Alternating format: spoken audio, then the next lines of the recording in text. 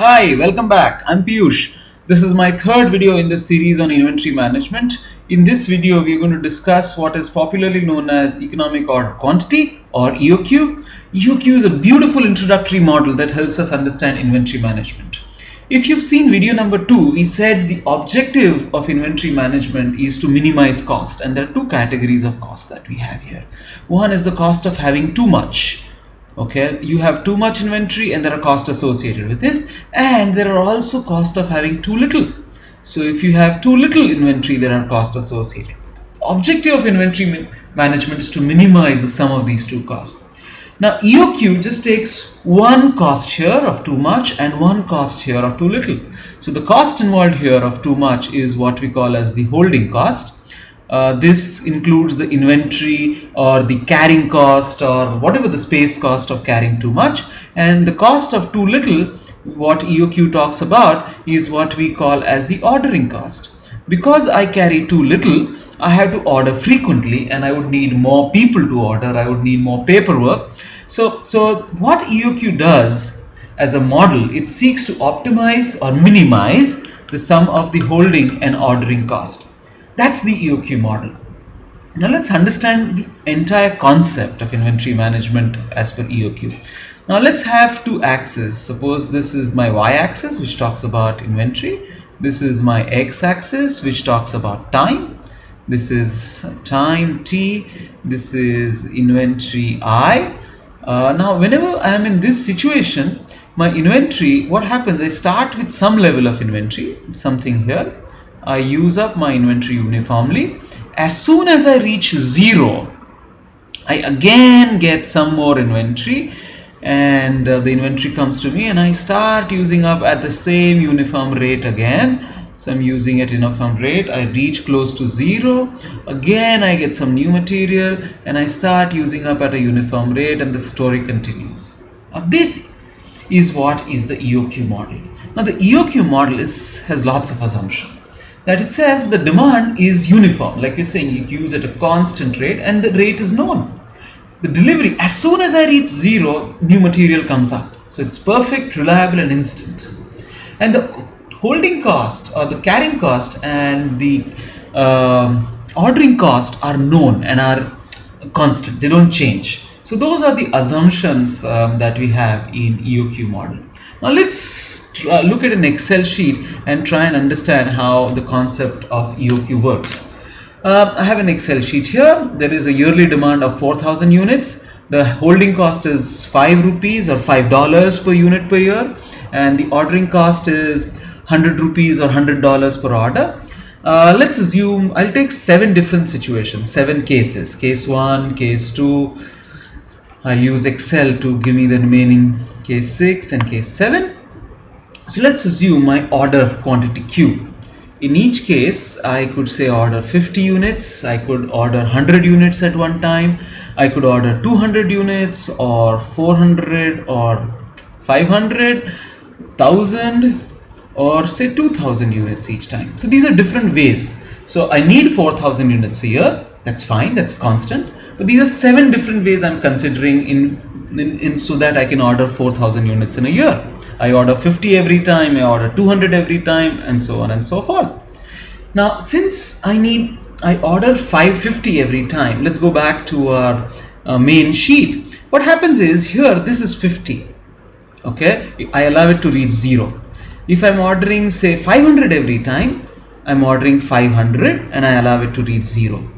Now my holding cost if you look is rupees 5 per unit per year I'm not carrying a constant quantity. The quantity that I'm carrying is changing from the maximum which is 50 or 100 or 500 to something zero. So obviously the inventory carrying cost will be on the average and the average is the maximum plus minimum divided by 2 and since my minimum here is 0 it's maximum divided by 2. So my average inventory on which I'll apply um, the holding cost average inventory is maximum plus minimum divided by 2 which is in this case we said it's maximum divided by 2 is equal to 50 divided by 2 this is my average inventory in each case. I will copy this formula.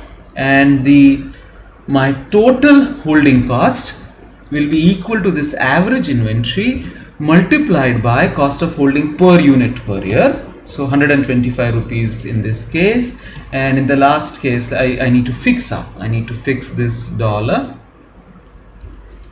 so that I can copy the formula. So in the maximum case I'll incur 5000 as the inventory holding cost. And here I'll order 125 rupees. Alright. Now since I'm ordering 50 each time and I need 4000 my number of orders n which is number of orders would be equal to 4000 divided by my order size 50 so my order size is 80 I'll place 80 orders here. Let me fix up this that I can copy.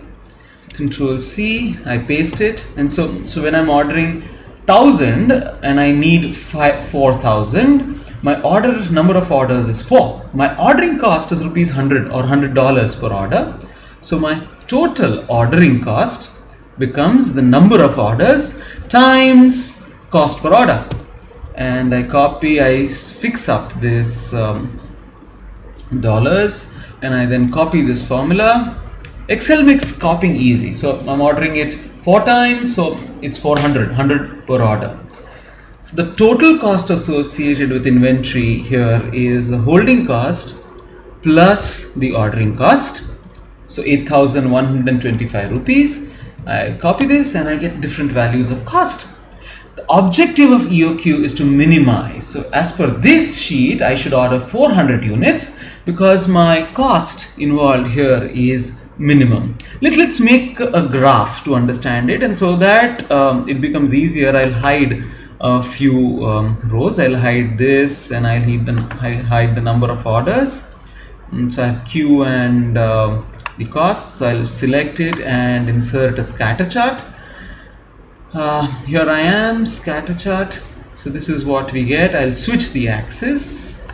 Uh, select data switch column and row. Wonderful. This is my scatter chart.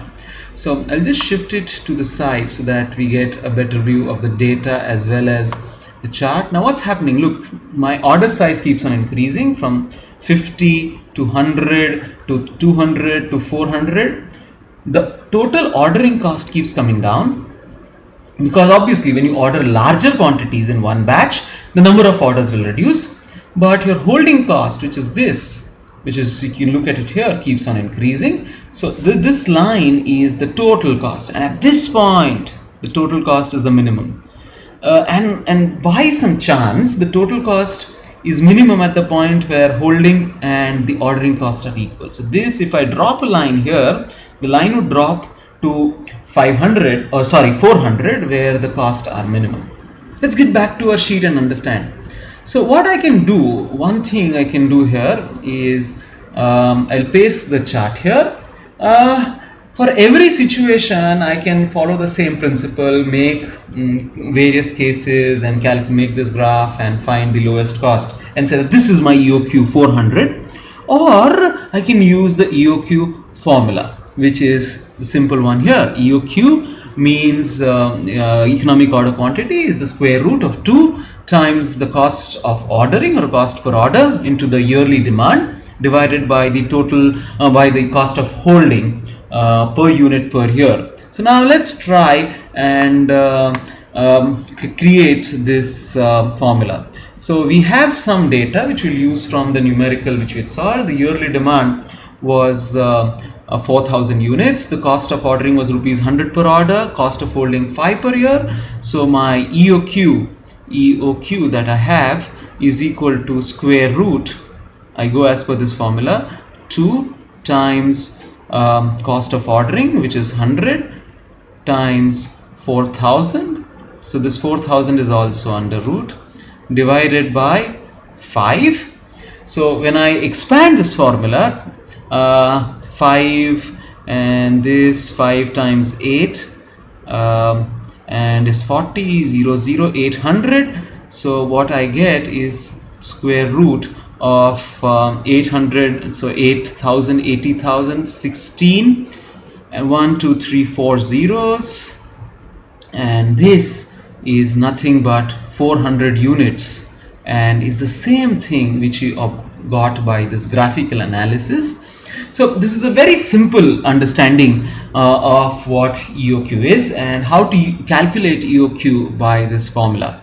I hope you like this formula and like this video. Uh, please uh, do share it with your friends and leave your comments um, to help uh, improve better. Stay tuned, we'll have two more videos to help you understand the entire topic of inventory management. Thank you for watching. Goodbye.